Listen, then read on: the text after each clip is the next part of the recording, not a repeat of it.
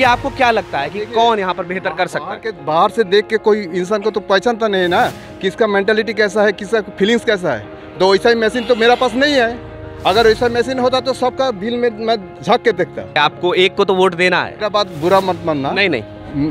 एक डाकत और पॉकेट मार। मुझको देखना पड़ेगा डाकत या पॉकेट मार। है।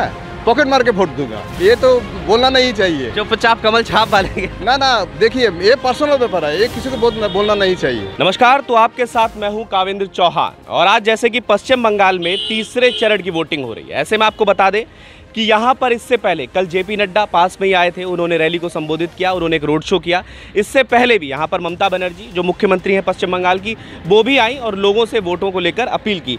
आपको पीछे बता दें कि आज जिस तरीके से वोटिंग है, उसके पुख्ता इंतज़ाम, जो सुरक्षा के दृष्टि से किए गए हैं, उसको, ये हेलीकॉप्टर जो पीछे मेरे खड़ा दिख रहा है, इसको देखकर आप अंदाज़ा लगा सकते हैं। आपको बता दें कि बीजेपी जो है, उसने कहा है कि अगर वो सत्ता में आती है तो हर घर से एक व्यक्ति को रोज़गार दिया जाएगा।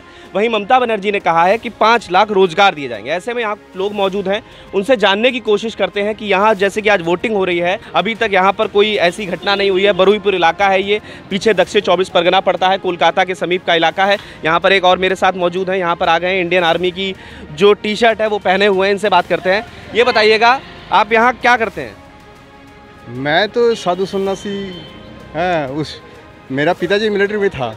उन्नीस सौ बासठ में जो चीन युद्ध हुआ था उन्नीस सौ पैंसठ में पाकिस्तान का साथ युद्ध हुआ था उसी टाइम में मेरा पिताजी था। अच्छा ये बताइएगा यहाँ पर आपको पता है कि चुनाव चल रहे हैं। चुनाव चल रहे हैं तो सत्ता में या तो परिवर्तन होगा या सत्ता वही काबिज रहेगी जो पहले से। है आप किसको चाहते हैं कि वो सत्ता में? देखिए मैं एक बात बताता हूँ। मैंने पूरा न्यूट्रल। बिल्कुल खुल के न्यूट्रली हाँ। जो स्वामी विवेकानंद क्या कहा? Give me few few men and women who are pure and selfless तो ये पूरा देश और दुनिया को को गोल्ड कौन गोल्डन बना सकता है? जो cent percent pure and selfless है सेंट परसेंट ऑनेस्ट मैन तो पूरा देश को, दुनिया को गोल्डन बनाने के लिए cent percent pure and selfless men and women चाहिए। सेंट परसेंट ऑनेस्ट मैन चाहिए मेन एंड वुमेन तो दुनिया में cent percent men and women कहाँ है? सेंट परसेंट ऑनेस्ट कहाँ है? वो तो कहीं नहीं है। हाँ? वो तो कहीं नहीं। कभी तो कभी नहीं बनेगा गोल्डन ना देश बनेगा ना दुनिया बनेगा। अच्छा ये बताइए यहाँ के परिप्रेक्ष्य से बताइए। यहाँ पर आपको क्या लगता है कि पश्चिम बंगाल के लिए कौन सही है भाजपा या तृणमूल? मैं- एक बात बताता हूँ। बिल्कुल खुलकर बताइएगा कोई वोटर। बताता हूँ देखिए।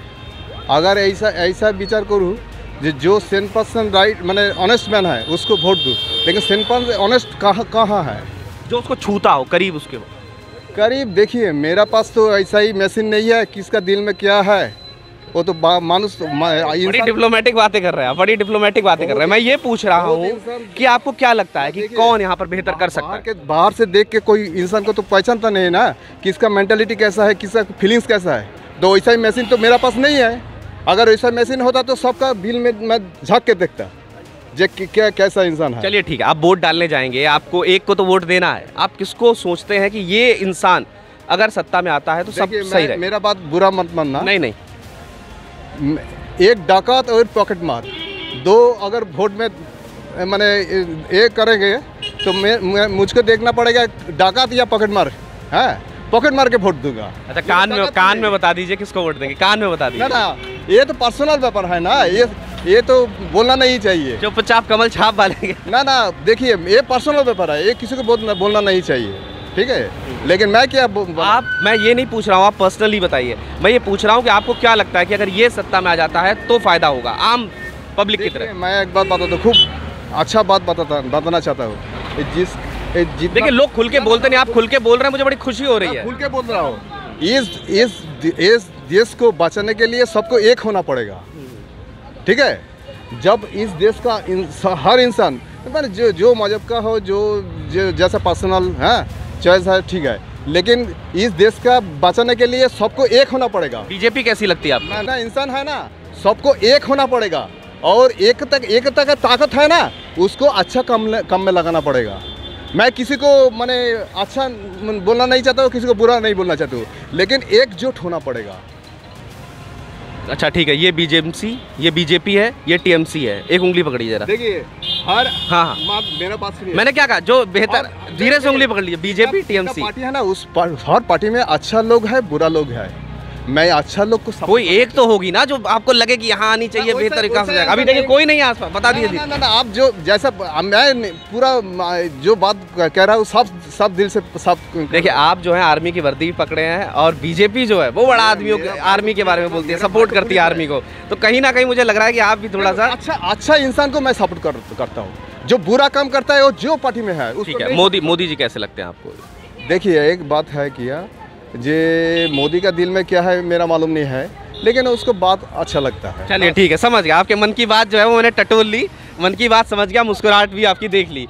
ऐसे में और भी कुछ हो, आप बात कर सकते हैं हिंदी में?